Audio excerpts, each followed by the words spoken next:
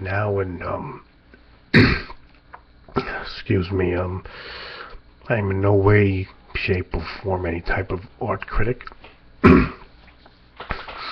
um and I've observed your paintings for the last 20 some odd years and the only only thing that I could see that was missing from the painting the beard of course. Nice touch for the summer I might add. And um I think the um the neck was just too skinny